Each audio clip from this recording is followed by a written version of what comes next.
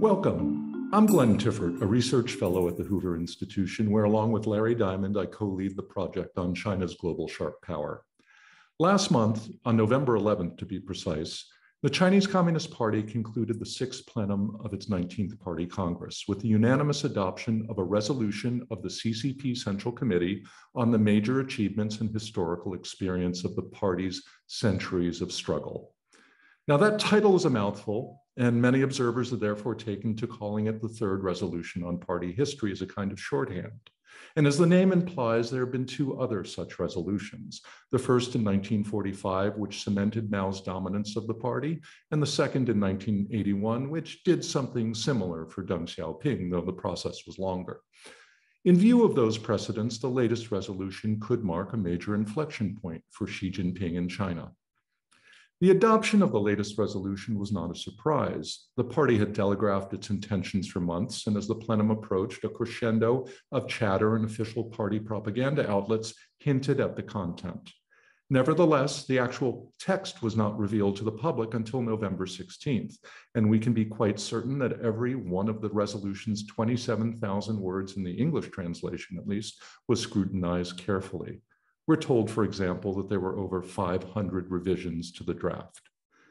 To help us unpack what this plenum might mean for China, the US, and the world, we have a dream team of experts assembled today. Professor Timothy Cheek of the University of British Columbia in Canada is one of the world's leading intellectual historians of modern China, and particularly of the CCP. The most recent of his many books is The Chinese Communist Party, A Century in 10 Lives, which was published this year by Cambridge University Press. Professor Joseph Fewsmith is a political scientist at Boston University and one of the most astute observers of China's contemporary elite politics. His most recent book is Rethinking Chinese Politics, which was also published this year by Cambridge. I'm sensing a package deal here. And finally, Alice Miller, who is a historian of China and a Hoover Research Fellow. Alice had a very distinguished career as one of the top analysts of China in the US government before coming to Hoover, where she edited the China Leadership Monitor from 2001 to 2018. I kid you not, if our panelists were a band, we'd call them a supergroup. So the format will be a roundtable discussion. I may start by directing a question to one of our panelists, but I encourage the others to join in at any time to enrich the conversation. We'll reserve the final 15 minutes for audience Q&A, so please submit your questions using the Q&A button at the bottom of your screens. We have a diverse audience, so let's not assume so much background at the, at the beginning, and we'll start by laying some basic foundation. Then we can quickly turn to some more advanced material. Joe, I wonder if you can give us a basic civics lesson here. What is a party plenum? Who attends them? What business do they transact? And why is this one? Why was this one so anticipated and laden with significance? Well, Glenn, thanks for asking. Uh, I think there are two basic uh, uh, party meetings that are really important. Uh, one is Congress, which meets every five years. Um, there are something like 3,000 or more delegates to a Congress, and its job is to elect a central committee and other um, bodies. Uh, a plenum is when that central committee meets uh, as in plenary session. The whole body of the uh, central committee gets together, uh, depending on the year, twice a year or once a year. Um, this one was anticipated because, uh, as you said, uh, there have been only two other history resolutions in the party's history, uh, one in 1945, one in 1981. And so we were all curious to see how this was going to evaluate um, the past and what it might portend for the future. Excellent, thank you. Tim, in his formal explanation of the resolution, Xi said, Our party has always attached great importance to reviewing its historical experience. Why? Why go to all the trouble of drafting the 70 page document and sweating over every word? It's a bit of a bizarre exercise for someone who doesn't understand Leninist party systems. And you know, in August, the Politburo said that one of the rationales for the resolution was having a correct perspective on CCP history. What do they mean by a correct perspective? Should we all take comfort that the CCP shares our commitment to doing good history? And well, what are they hoping to achieve? What are the stakes here? Well, Comrade Tiffert, you asked the correct question. and, and that is history is science. And uh, uh, Central Committee resolutions are the peer reviewed scientific conclusions of the science of political order as determined by the best minds, who are, of course, senior party people. And it's the equivalent, and they set down what is the main task and what is, uh, what is to be done. And these are the rules of the road for the foreseeable future. It's, this, it's like it's just as real for those who believe in the party ideology. It's just as real as what's the latest theory of physics as certified by the Nobel Prize. And what, we, what I would like to discuss with my colleagues here is I tend to call historical resolutions um, constitutional revisions using the British unwritten constitution kind of idea of how you ought to do things. I'm very mindful that every uh, party Congress uh, sets that as well. Mm. And so, even in the current historical resolution, as you marched through the uh, leaders of the party and the major party conferences, with maybe skipping 1982 mm. um, for you know for reasons that you know we won't go into, uh, the um, each time there's that phrase, the main task was blah blah blah blah and that means when you get main task, that's the political line. So the reason we're all paying attention to this is end of debate. You, that the, the revisions have done now. This, this is the document that I think for the next 10 years going forward sets what is legal and illegal, legitimate and illegitimate ways to talk, talk about the history of the people who are running your life if you live in China. Would anyone like to add to that? If that didn't go to Alice, nothing will. no, I agree with you entirely, uh, Tim. Um, Marxism Leninism is, of course, the science of human affairs. Historical materialism is the other branch of dialectical materialism. And Marx, Engels, Lenin, Stalin, Mao have developed uh, the uh, skills to interpret the trends in history according to Marxist Leninist laws and thereby design the path forward uh, for the party and for, in this case, the Chinese people. So I agree with you entirely. Right. They have the key to understanding. And so that gives them the right to rule. That's uh, right. Right. So, Alice, um, can you explain the life cycle of one of these resolutions? You know, what generally precedes them? How are they drafted? Who are they meant for? And once they're issued, what happens? Well, um, this one uh, was the process was the product of about six months or seven months of, of gestation, although it was probably on the books um, right after the first plenum of the 19th Central Committee uh, back in uh, back in 2017.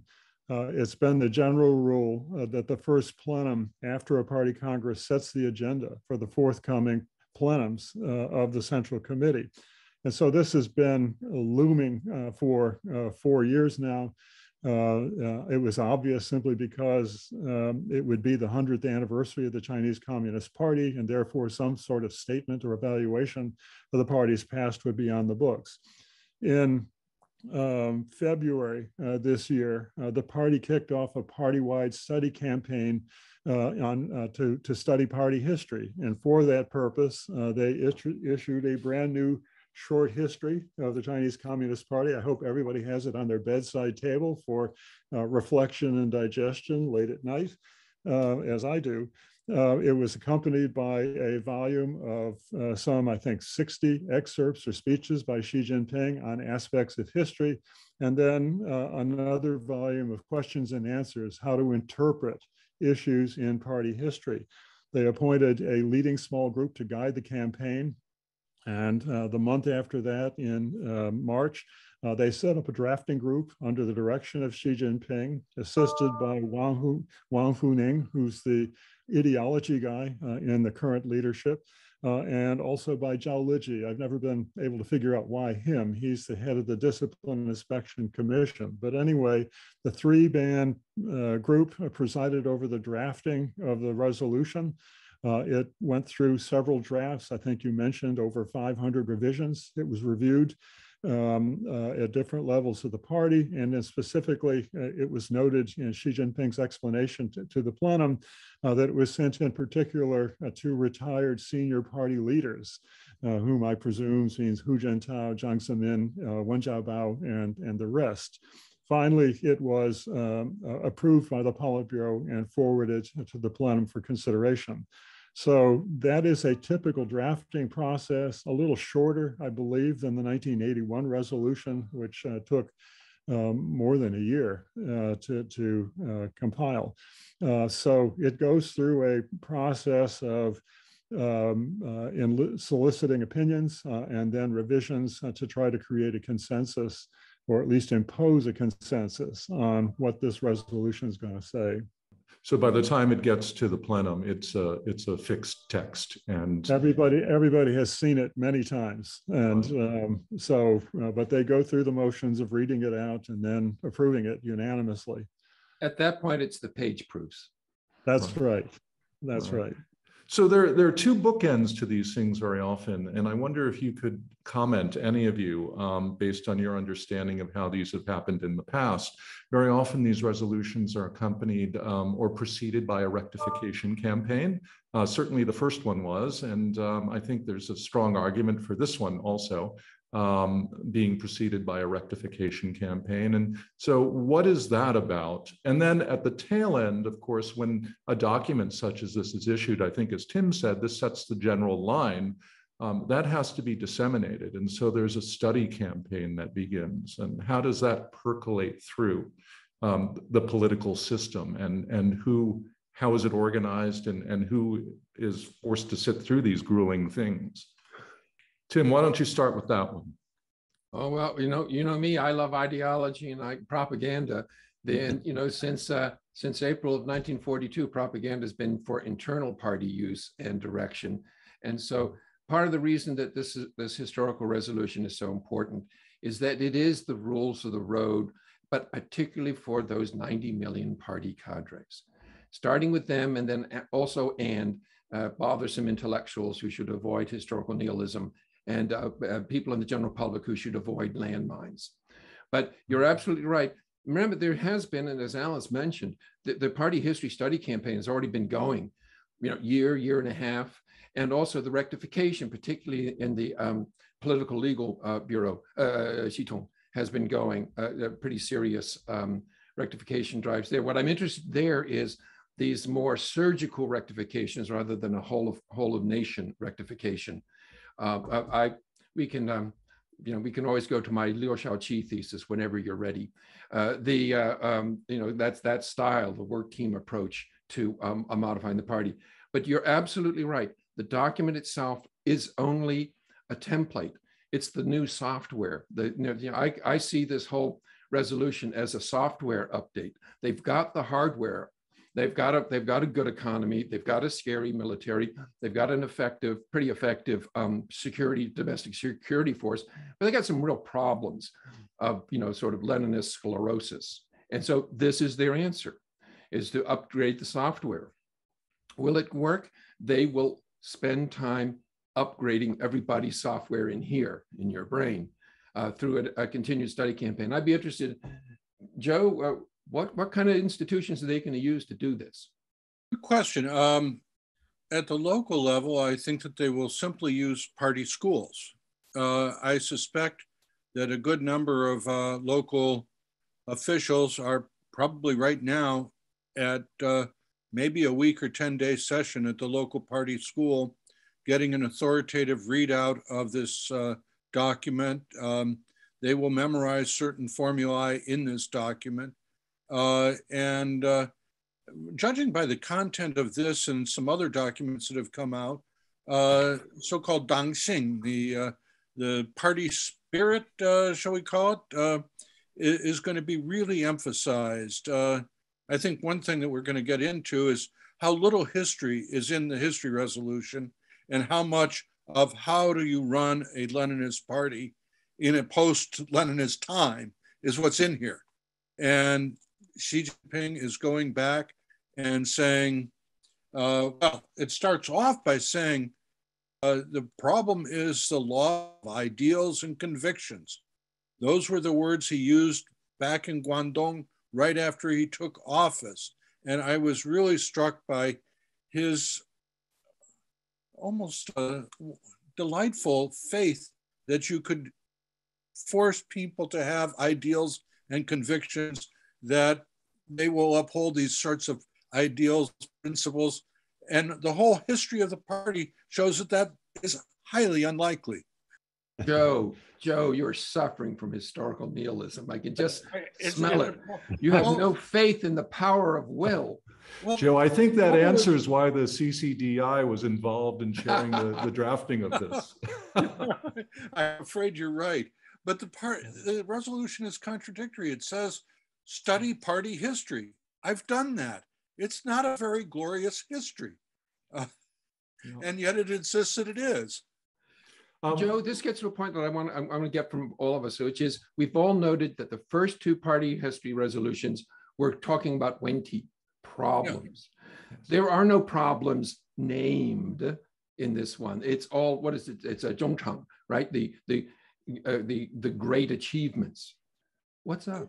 Except it does say corruption is yeah, uh, less, yeah. number one lessons, problem for the survival of the party.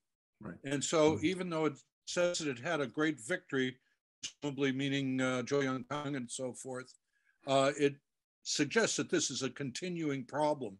And it does suggest that in the last 20 years, people have taken their eyes off the ball, right? Um, and yeah, the, that's no, I, the reading through between the lines there, there's pretty strong implicit criticism of the Jiang and Hu years. But but let me actually put some structure around this, this discussion because we're about to get into the content of the resolution. And that is, um, I'll, I'll start with Tim and, and invite the others of you to join in. What is, what is in fact different or similar about this resolution as compared to the previous two? Um, you know, there was a lot of anticipation and head scratching that the larger political context behind this resolution is so different than the others. You know, in 1945, Mao was heading off, you know, a, a challenger in a sense um, uh, within the party, and, and he had to declare his, his, his unchallenged authority. Um, Deng Xiaoping similarly was having to put the Cultural Revolution behind him and deal with the Gang of Four trial. These are giant things. Um, Xi Jinping is not in that same position. So apart from the 100th anniversary of the party, what, what is the precipitating event here? Um, so why is, how is this resolution similar or different from the other two to your minds? Tim and then the others, please. Well, you, you hit the big context one. Uh, the, to which to what you said, I would add that in 1945 and 1981, Mao and Deng had living competitors in the Central Committee, and who had to be um, convinced to take it, to swallow it. How he got Wang Ming to uh, Mao got Wang Ming to you know take the take the rap, you know, is amazing. Mm. Um, so it, it's uh, you know uh, but I don't see, and I, I, defer to my colleagues who know the Central Committee better than I do. I don't see active, uh, viable alternatives to Xi or competitors. Uh, Zhou Yongkang, you know, Bo Xilai, others have, have, been brought down. Um, and so therefore, that's a very different environment. So the enemy isn't bringing party unity in the face of internal dissent. I think he sees the uh, attack on party unity to be external.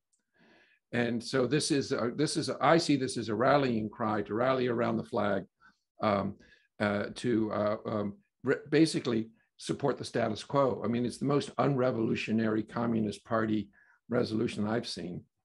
But uh, Alice, I know you have some thoughts about the amount of history in the historical resolution. Yeah, well, um, I guess I differ slightly. I think there is parallel between the three resolutions in the sense that each of them served a point of trying to rally support behind the leadership for a forthcoming mission or goal. Um, uh, in the case of, of uh, 1945, it was um, uh, the end of the Sino-Japanese War, uh, and then the effort to liberate China and create a socialist China. In 1981, it was overcoming uh, just the Maoist uh, ideas from the Cultural Revolution period, but also pushing reform ahead. And in this case, uh, it's um, uh, galvanizing support for the party's agenda as set down under Xi Jinping, the so-called policies associated with the new era of, of socialism with Chinese characteristics.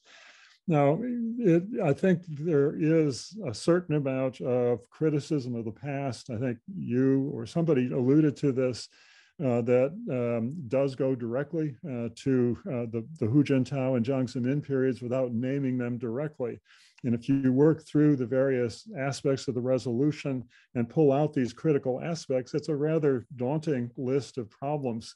Uh, it includes, for example, lack of compliance with central party uh, decisions, collapse of party decision, uh, collapse of party discipline, uh, institutional and structural problems for the economy, proliferation of vested interests, especially after the 08 09 financial crisis, pressures for systemic political change, um, um, uh, corruption of the legal system, uh, deviant ideological and intellectual trends, and as, as I said earlier, most alarmingly, failure in party leadership over the army. Uh, and so uh, this is a fairly significant set of problems, um, and uh, it is they are put forward uh, to rationalize and justify the various approaches in concept and policy that Xi Jinping's leadership has put forward.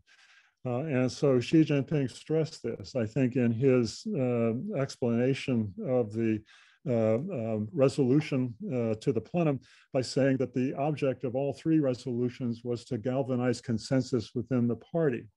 It does raise the rather interesting question uh, of uh, Joe often argues, I think, helpful, helpfully, that party discourse is a conversation and so in the face of assertions of one kind or another, it's always useful to ask, well, who is it arguing against? Uh, and that is to say, I agree with you that it's not easy to identify elements in the Central Committee, um, although they may be there. It's always hard to, to find them. Um, uh, but uh, one alternative might be uh, the uh, assertion in the minds of some members of the Central Committee and lower down uh, that Xi has in fact mismanaged aspects of policies and challenges facing the party and therefore uh, may um, should not continue in power. Um, also, it could be um, a galvanized effort to try to get at the continuing problem uh, that the Xi leadership has stressed, and that is to say, lack of compliance behind the centralized authority of the power in its decisions. Uh, and so it's aimed at uh, the vested interests and so forth that have confounded the party and uh, the party center in carrying out its policies. So I think there is a consistency here in at least trying to give a framework uh, for marching forward. Um, and it's useful to see, ask what the uh, resistance uh, to that might be. Joe, do you have any thoughts then on, on what the, the silent voices behind the text might be? And, um, and then I want to also pull on, on a thread that Alice raised, and that is party control of the army. Uh, Xi Jinping moved very quickly to establish that, you know, quite in contrast with his immediate predecessors. And uh, I, I, am curious uh, about your reflections on, on his choices there uh, and how much he's associated himself with the Army. Well, I think that's all true. Um, let me go to Alice's point about people disagreeing. Uh, I think that there is substantial um, amount of, let's say, uh, well, just, I mean, he's offended a lot of people let's start there. Uh, you know, when you go after um, the military hierarchy, when you go after the party hierarchy, uh, Yongkang, Bo Xilai are not weak people. Uh, there are a lot of people who maybe disagreed with them, but think that Xi Jinping has gone very far.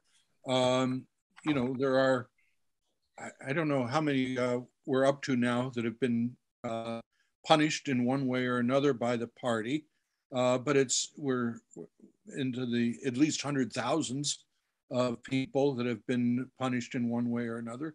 And this is at the top of the party system, albeit at different levels. Uh, and so I have to assume that there are a lot of people that disagree, um, in, including their families. So these are a very articulate group of people with many connections throughout the party. Uh, and it's not easy to take on that whole group. Uh, and he's been um, either foolhardy or courageous to try to do that. Uh, so I think a lot of people have disagreed. A lot of people would look at, say, the growth rate of China and say uh, Xi Jinping has scared the bejeebers out of cadres to the point that they're not willing to do anything, and therefore the economy has slowed down. Uh, I suspect there are a lot of people that look at the Sino US relationship and say, do we really need it to be this tense? Uh, has this guy created problems that we didn't need to deal with? Uh, and I think that's a very significant and important question. Uh, you mentioned the military, and uh, you know, I I have argued um, that it took Jiang Zemin a significant period of time to really control the military. In fact, uh, he put Xu Caihou and Guo Boxiong in as vice chairmen of the military at the 16th Party Congress as he was stepping down as general secretary. So he had this, um, what, um, arm's length control of the military. And, you know, oh, from the time he was appointed to um, the general political department to the time he stepped down, uh, had vetted something like 83 people who were being promoted to the level of general, the, you know, the top of the military.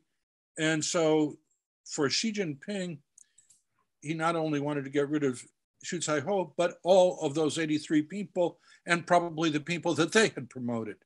Uh, and this probably points to Xi's concern with what he calls Tuan Tuan Ho, the uh, group, you know, factionalism. And what's he done but put his own people in office? Uh, I think that one of the, I, I could imagine a lot of cadres in China sitting around the uh, caf- cafeteria lunch and complaining about how many people, friends that Xi Jinping has promoted directly. Uh, you know, you complain about factions, but what are you doing? You're creating your own faction. Uh, here we have two people on the Politburo who never even served on the Central Committee before. Um, that's just um, that's just against organizational norms. Uh, so I think that there is a lot of uh, discontent in that sense. And one of the things that I was struck by in the um, resolution was that he says we got to fight this idea from the West of constitutionalism, uh, Western constitutionalism, or the idea that parties should alternate in power. So apparently, those ideas are still out there, uh, even in the Central Committee, uh, though nobody is going to voice those concerns. Joe, the way you the way you put it puts me in mind that we really are back to the future. We're all so old and gray. You not quite so much. Uh, that you know you were doing work in the 70s and 80s, and lo and behold, how did we read the People's Daily then? Which is when they declared a victory over corruption in Hunan, it meant that they've noticed there's corruption in Hunan and they're they're starting to work on it. So are we back to reading this in the old uh, Renmin Ribao reading style of um, anything declared as a victory is an admission of a problem? I'm afraid that that's uh, part of the uh, study of China. I, I, really would prefer not to read Renmin Ribao every day. they have an app for that now. Um, I was uh, I was wondering then. Um, let's turn to the content for a second, without getting too much in the weeds. Um, I wonder, um, Alice, you know, when, in reading through the resolution, is there anything that jumped out at you that surprised you in the resolution? I mean, we've we've articulated that that this is a mobilizational document that sets the general line and, and the goals, you know, that that the nation and particularly the party are going to mobilize around to try to achieve. Um, but um, but with all the anticipation that we brought to to when this document would drop, um, what is in there that that you didn't expect to see, and what isn't there?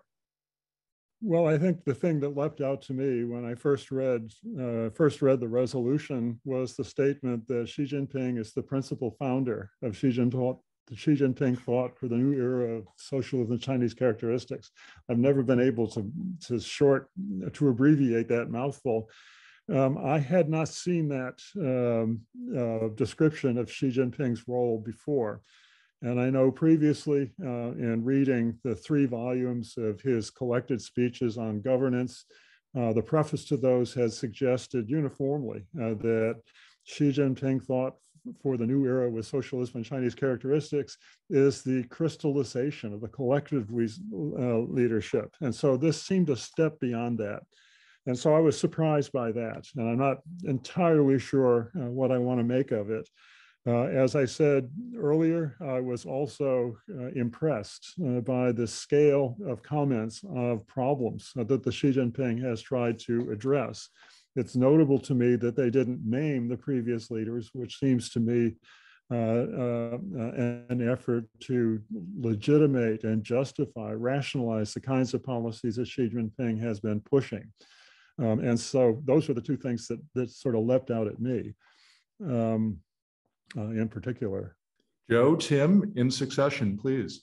Well, I, I think we all anticipated more history in a history resolution. Uh, oh, details.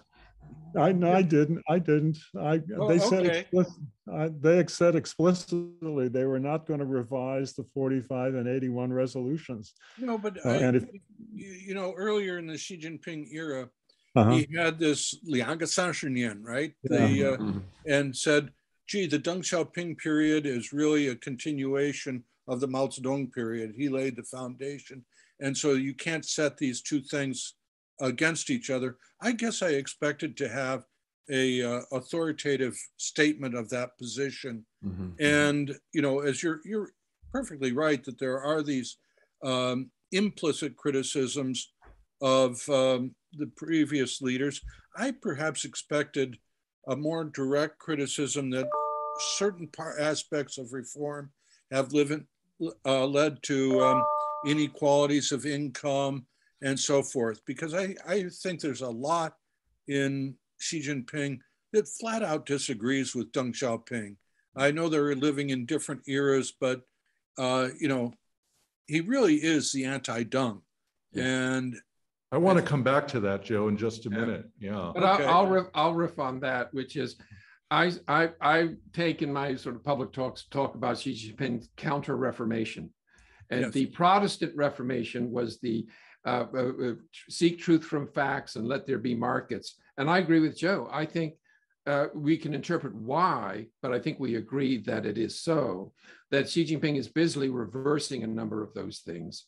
And, you know, it's like uh, it suggests that the party's uh, acceptance of market and openness and even intellectual pluralism was, uh, was tactical rather than substantive. It was until China was strong enough that it didn't have to do it anymore. And that's an interpretive line that can make sense of the information that we have before us. And this is, you know, on one hand, it's like we don't have to, to kowtow to the foreigners anymore. We, we are done. The other side is what Alice has warned us is there's a frightening list of problems since a, a bit this this this litany of successes. It's like one more success like that. What is it? Pompey's victory. You know, one more like that, and you're toast.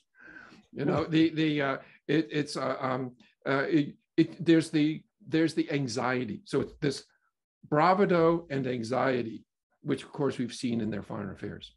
You know, it seems to me that that litany of problems um, serves several purposes. You know, number one, it it says, yes, you did leave me a mess, but I'm here to clean it up.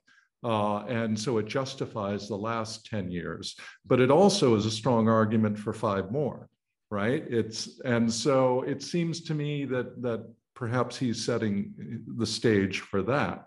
Um, but beyond that, it you know, going back to to the criticism, the implicit criticism of of Hu and Jiang, and and also this, you know, the anti-Deng aspect mm. of his agenda, there really seems to be a reordering of the pantheon going on here. Mm. Um, and you know, um, if you look at the nomenclature, for example, you know, at the moment, um, I think Alice was spot on with the point uh, about you know that mouthful of Xi Jinping thought for socialism, you know, with Chinese characteristics in the new era, where that's a really unwieldy phrasing right now, but it's got the thought word, the sixiang in there. And we may get to a point not very long from now where they just drop all the other stuff and we're left with the eponymous, you know, Sixiang. And there's only one other person who has that, right? That's Mao.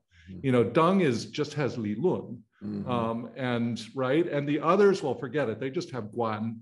you know it's that that we don't even talk about that right so yeah exactly so it seems to me that there's a subtle step-by-step reordering of the pantheon going on here i'm, I'm just curious like, your reactions to to that statement well i I've, i'll jump in here and be a little bit of a sound a little bit of a dissonant note i was looking for a stronger suggestion in the resolution uh, that Xi is not only the principal founder of Xi Jinping thought for the new era of socialism Chinese characteristics, but he should continue to be. And I searched the resolution, could not find that. Instead, uh, I would invite a shift of perspective. Instead of reading the resolution in the context where everybody seems to uh, expect that Xi will continue his power in power as the general secretary, turn that around and read the resolution from the perspective of uh, Xi Jinping about to retire. I don't see too much difference in the resolution. You could read it either as a mandate for him continuing, but also as a statement or a declaration of his legacy moving forward. I've set the ground rules and now you've got to carry it forward. Um, and I know yesterday, I think it was yesterday, there was an article in People's Daily by the head of propaganda, Chen Xi, on training up successors. Uh, and so um, I worry a little bit about reading too much in the resolution uh, with regard to uh, Xi Jinping's future. Now, I am quite ready to agree. I expect Xi Jinping to continue, although I'm agnostic about what form that will take. Uh, and I can imagine scenarios other than the one that he just continues for a third term as the party's general secretary uh, than, um, uh, than that one. Uh, and so uh, I'm really complaining here about the use of evidence, uh, uh, the use of the resolution. And we need to be careful here in exaggerating the import in context that may be shaky. I, Joe, it looks like you want to hop in. I, I hate to agree with Alice. oh, not again. but, you know, there was this fascinating article, um, September I think 1919 in Qiushi that says one of the marks of a what uh, a mature leadership or something like that is the regular alternation of people in office. Yep. And I've had that in the back of my mind for years. Um, what's going on? Did somehow that slip through uh, an authoritative journal like uh, like Qiushi and it was highlighted. That sentence was highlighted on the front page of Renmin Ribao. Was this an attack on Comrade Xi Jinping, or was it a statement of some principle that he would like to uh, articulate? Uh, you know, what does Xi Jinping thought on rule of law actually mean? Does it mean simply, I'm going to use laws that I make up to bully other people? Um, I'm tempted to go with that. Uh, but it may also be something uh, about that he might step down to the second line or something of that mm. nature. Joe, I'm going to jump. Joe, I'm going to jump in because you're you're you're both so right. Do you see? I see a tension in the language of the historical resolution that I want to ask, and that is, um, we all know it's about you know uh, praising Xi Jinping and having his name in the resolution and uh, uh, downplaying everyone else. And yet, when I look at the syntax of the sentences, it is the Central Committee has done X, yes. the Central Committee has done Y, and you know. You know me, I'm Mr. Liu Shaoqi. I'm going like, yeah, that's our institutional Leninism. And yep. you, Joe, that's your gospel, right? You know, yeah. this is what Leninism does. So if you there's one way to read the historical resolution to say actually it's reaffirming the as, as alice mentioned the crystallization of the collective thought et cetera et cetera yet on the other hand xi jinping is paramount so what do you make of this sort of rhetorical contradiction or tension or does not seem to be one to you tim you're anticipating my questions this is great Well, there's also the phrase in the resolution about putting power in a cage, uh, which was an interesting one to uh, repeat uh, in this. I know that comes from an earlier period of the administration, but uh, you know, you kind of read this and you say, now what what cage is Xi Jinping's power in? Uh, it's just another one of those contradictions in this uh, document uh, that we will be pondering for the next year until the answer is revealed at the 20th Party Congress. I mean, it seems to me that there's a little bit in there for everyone, right? There is Xi Jinping as the founder, right? That that is that is different. But then there is also Xi Jinping, and this is what struck me most. Um, for those who are expecting him to be more front and center, he's the vessel of the party yeah. uh, here, right? And that's just that's classic. And and they say that over and over again, right? Um, the party needs a leader, and I just happen to be it. But you know, this is about the party. Um, and you know that is classical Leninism. But is that just maybe tactical? Is that him playing to that that pushback in the party that if he moves too quickly, uh, then you know maybe or or is it just step by step methodical? So you know in the next cycle he he moves the needle a little further because if you look at the last nine years, we've come a long way, right? Well, you know, you, you go back to those uh, other two history resolutions, and uh, they both set up a uh, leadership for at least the next 10 years. Uh, so, in that sense, I really don't expect Xi Jinping to go anywhere. Uh, it's possible that they could try to divide the leadership into two lines. Uh, historically, that doesn't seem to have worked out too well. Yeah. Uh, and so I'm not ex- expecting that to happen. Um, but I, I, I guess I think history resolutions are intended to solidify a leadership for at least the next decade. Let me put something provocative out there. Um, I want to hear your reactions because I'm hearing this from people that I speak to too, who um, whose opinions I, I, take seriously, including some from China. Uh, you have a an increasingly hard authoritarian regime a burgeoning personality cult around a leader with a singular vision, a kind of macho preoccupation with strength and vigor, and a concomitant disdain for pluralism and weakness.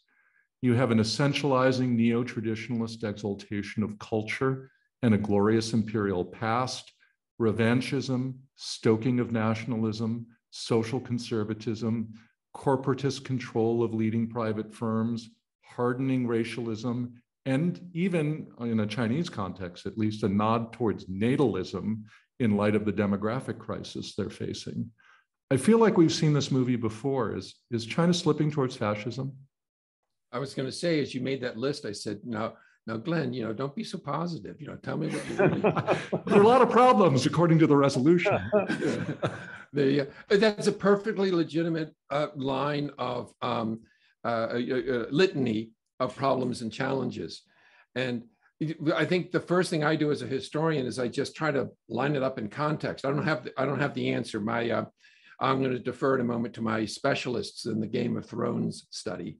Uh, the uh, uh, the um, but you know, it's also the most powerful communist party on the planet. It's also a successful economy. It's also uh, you know uh, shown uh, global leadership at times that that um, the Western powers have um, abandoned, um, and it also has broad-based public support. If we're to believe these various uh, um, opinion polls that you know the Harvard Group and others uh, seem to think have some reality to them. So, not, what, what I'm suggesting is we have to look at those challenges along with their strengths they have the ability and the state capacity to do a lot. And it's clear that Xi Jinping is not afraid, and the Central Discipline Inspection Commission is not afraid to assert itself. So I see those things as a in a complicated uh, mishmash. I guess I would point to the list that you gave us a moment ago and suggest that a lot of that is defensive, precisely because of this long list that uh, Alice gave us of the problems that they're facing. Uh, and you know, we tend to forget that from Beijing's point of view, the United States and democratic thought still appear to be pretty darn formidable. Mm. Uh, and, you know, as I say, it's referred to in the document that we're really worried about these ideas about Western constitutionalism. Uh, it seems to make too much sense to a lot of people in China. Uh, so, you know, yes, China is very assertive, but um, I, I think it's really at, at its core, it's worried about peaceful evolution. Yeah, I um, well, I hate to say it, but I'm going to agree with Joe. Oh dear. Uh, again, and and with Tim, uh, I've been. There goes the cage fight. Yeah. There we go. Um, uh, but I've been impressed since the beginning of the Xi leadership uh, with the undertone of insecurity in the leadership. And in the 08, 09, uh, 2010 period, there were several real, really serious problems that confounded the leadership. Uh, and under whose leadership uh, and the collective leadership structure uh, that made these problems hard to address. It includes uh, the beginning of the economic downturn, partly because of falling off the demographic cliff. Uh, it included problems in uh, foreign policy coordination, especially in the East and South China Seas. It included um, problems of ethnic unrest in Tibet and in Xinjiang. Um, and so uh, out of that emerged, I thought, a really uh, significant uh, sense of insecurity in the leadership. And that therefore, at the 12th Congress, they empowered Xi Jinping to take a stronger role as general secretary, not to overturn the collective leadership, but take a more strong role in guiding it. And the uh, uh, 18th Congress uh, political report delivered by Hu Jintao presented the agenda of many of the things that Xi Jinping pursued, uh, including the corruption campaign, the party work style, party centralization, and so forth. So many of the policies that Xi's been pursuing are responsive to that, to that perceived series of crises. Uh, and I read that into the present resolution as well. Um, I think the triumphalism in much of the resolution uh, reflects, as Joe suggests, defensiveness in the face of very serious challenges, uh, added to which I think it characterized the present world situation as a period of turbulence and transformation, uncertainty, and how China was going to fit into it. So the combination of external problems, but with the abiding problems internally, I think underscores that this is a leadership that may feel confident in some respects, but they face real problems uh, and aren't uh, certain that their hold on power is uh, is going to be lasting, and therefore they're ready to take drastic steps to try to address that. Um, so, again, I'm sorry to agree with both Tim and Joe, but there you go. it's happened before. Yeah. but maybe I can throw out something that you can uh, that you can disagree with.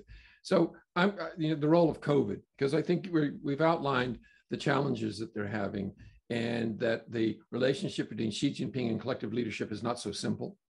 But COVID, you know, started with, of course, being the the the the, the, the so-called uh, China Chernobyl moment in, in Wuhan, but it's come through with the massive mishandling in North America and Europe, and just ongoing waves of it. You know, at least for Chinese domestic uh, audiences, it's like, oh my God, you know, it, it is. And I think that the destabilization of supply chains and international relations built around COVID will probably cement the ability of Xi Jinping to stay on the simple uh, political choice of in turbulent times, don't change horses. I want to, before turning to our audience for Q&A, I want to do a quick lightning round of, of something that I, I, I promised I'd get to with all of you, and that is um, to, um, to identify uh, one conventional wisdom or, uh, or settled truth that we encounter in the literature or, or you know, talking heads um, with regard to China that you feel needs to be re-examined, shaken up, uh, maybe shot down, and, and tell us why. Uh, so let's start with Alice. Um, well, I'll give you a twofer, and that is to say, I am sick to death of comparisons of Xi Jinping to Mao Zedong and to Chinese emperors. I think Mao and Xi Jinping are worlds apart in their orientations. Xi Jinping is exercising power through institutions. Mao Zedong made his power by destroying institutions. Uh, Xi Jinping uh, is working within the framework of socialism with Chinese characteristics, that is, economic development is the key. For Mao, it was waging class struggle. These are leaders that are just worlds apart. They're nothing alike. And I wrote my dissertation on Manchu factional politics in the 1660s and 1670s. And I can guarantee you, when you look at the nitty gritty of imperial era politics, and emperors and uh, Xi Jinping don't look anything alike. So those are my pet peeves. Thank you. Those are great. Um, I've got to look up that dissertation. Joe, over to you. well, first of all, I, I would agree with uh, Alice that um, Xi and no, Mao are worlds apart.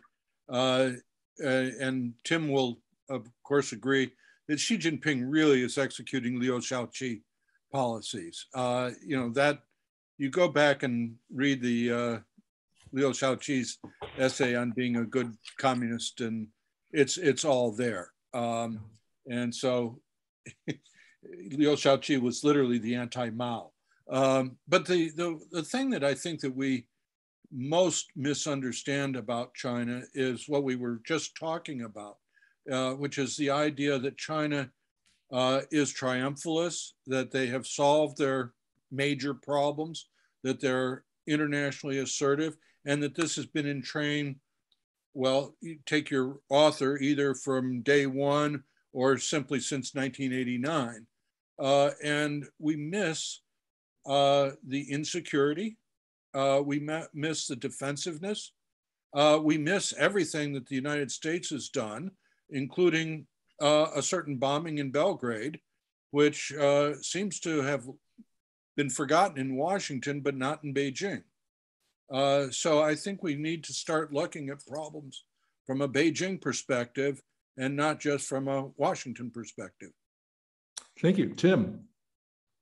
Well, this is the problem of you know of a triumvirate, right? You know, I'm Lepidus down in Africa, like oh well. The uh, the the the, uh, the, the, the stole my thunder. I which it, but I think there is uh, it matters that three of such as us think think Liu Shaoqi. And what I would add to that is, um, lest you think we're saying how much nicer Xi Jinping is than Mao because you know Liu Shaoqi was such a terrific guy who went through organizations. I try to tell my students think in terms of the difference between Mao and Liu as the difference between witch hunts and Spanish Inquisition. because you know when when Mao had problems, he would fire up the people to go you know get pitchforks and go get whoever. Liu Shaoqi he he just uh, you know he got the priesthood together and had had a commission for inquisition, right? That's and, and through work teams. And so it's work teams versus mass mobilization. The last thing I'd say, the, shibboleth that worries me is that this, on so much of the uh, uh, Western commentary that I see, the utter dismissal of ideas, that, that, that, that belief is not in, this is all bullshit. You know, this is, this is all just um, code word for political interest and power, politics. It is, of course, that. But part of Chinese governance and, um, and Alice, I'm hoping that you'll, you'll, you'll back me up on this, is ideological governance from the, from the, from the dynasties all the way through um, political tutelage under Sun Yat-sen to how uh, Chiang Kai-shek uh, wanted the Nationalist Party to run everything, is there's a belief in the leadership that they have a more scientific view and they need to have a pedagogical state. I still think that the party is, is attempting to run a pedagogical state, which is to train people to be modern citizens. What the content of that is, we now know that it should not include constitutions. I think we're all in probably agreement on those points. Okay, fabulous. Let's turn to the Q&A. Uh, I'm going to pull questions um, out of the Q&A box. Um, there was an earlier one, which I don't see right now, but I want to get to. Um, and it touches on something that Tim just mentioned. You know, uh, there's going to be a strong effort to propagate ideology and ideas uh, through the party and, and outwards through society. But of course, we're not in the 1930s learning how to be a good communist anymore, uh, or the 40s. We're not even in 1981. China's a much more complex society, a much more cynical society. Uh, you know, how well is this going to work? How much eye rolling is going to occur as people have to sit down and, and you know, um, grind through these texts? Uh, is, is Xi Jinping using uh, old, worn out tools? I think uh, propaganda has been marvelously modernized. Uh, not only do they have these rather ponderous documents that uh, only the people who are sent to party schools uh, will read, uh, but they have all sorts of mechanisms for reaching out to the so-called masses. Uh, and they, they take the forms of um, popular things like um, what, what uh, positive energy, uh, say good things, uh, you know, be upbeat, um, all these sorts of things. Uh, they have cartoons that go out there. Uh, I think that one of the things that actually distinguishes the Xi Jinping era is that he actually cares that what everybody thinks. I think Jiang Zemin and Hu Jintao yeah, right. cared what the 800 thought. Mm-hmm. Xi Jinping cares what the masses think. And he really uh, is using the propaganda uh, department has gotten really sophisticated. Um, and uh, they're doing all sorts of stuff there to popularize these things. And they, you know, they'll pick up memes that start out as popular themes, give them a little twist and, and return them as you will to the masses. And that it will come out as Xi Jinping is great or uh, Zhongguo Hanzan, you know, mm-hmm. China's great. Uh, well, Joe, this is a Western success. Those people in the propaganda department were trained at Harvard and Stanford, and they're just really smart people. And, and, and remember, Xi Jinping cares about what people think, just like Zhu Yuanzhang, Ming Taizu cared about what people thought. Alice, anything to add there? No, I agree with Joe. I think uh, okay. I, it's impressive how the propaganda system has evolved in directions um, that that enable the party to present a enlist a positive image and so forth. I'm also impressed though with the other side of that and the uh, ability of the party increasingly to try to monitor social media and uh, inject itself into education in ways that it hadn't uh, for a while. Uh, these, uh, uh, I think, will invite a certain amount of resistance and resentment, and that's hard to measure. but I think there's a balance in there somewhere. Yeah, and the history tells us, and there's demonstration, the work of the uh, historians working on uh, PRC history, I'm thinking particularly of uh, uh, uh, Jeremy Brown and Matthew Johnson on the um, uh, grassroots Maoism, they can document, even in high Maoism, how people resisted, used it for their own interest, ignored it. You know, the party is not all powerful when you get on the ground. That's right. Right. People still have agency. So yes.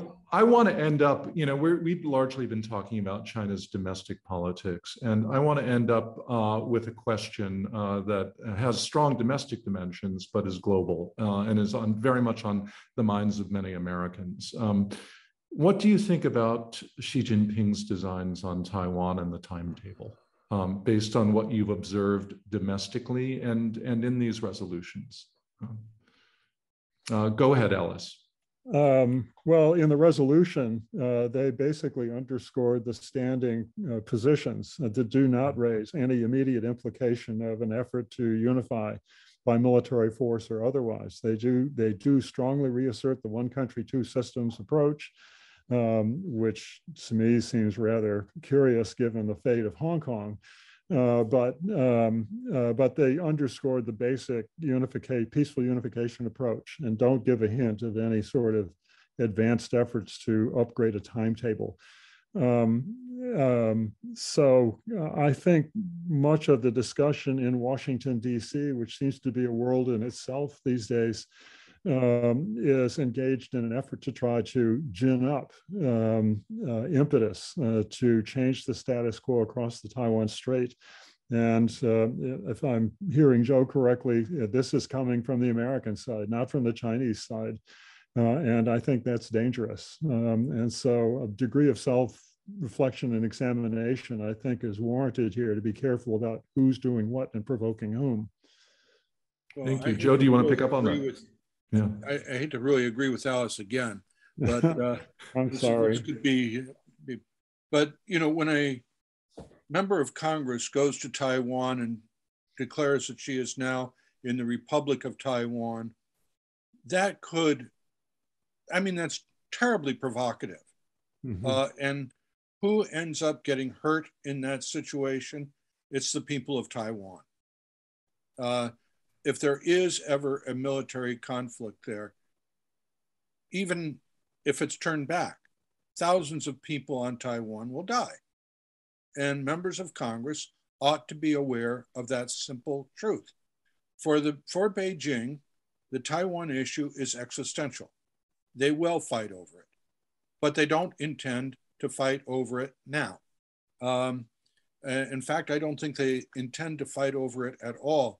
I think they intend to use military force to keep the United States away and convince the people of Taiwan that they have no other choice but to come back to the motherland. Um, you know, I think that old Python strategy stays in place.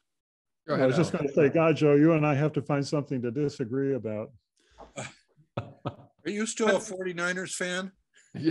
oh, there you go. There you go. But I think a closing thing when it comes to international relations and our relationship with China, and I speak from Canada, uh, which relations are as bad or worse, uh, the uh, is uh, the need for diplomacy, the need for uh, you know uh, you know the old we're showing ourselves to be old hippies, but you know remember the old saying, peace is like bread, you have to make it every morning. The default mode is not peace, the default mode is war.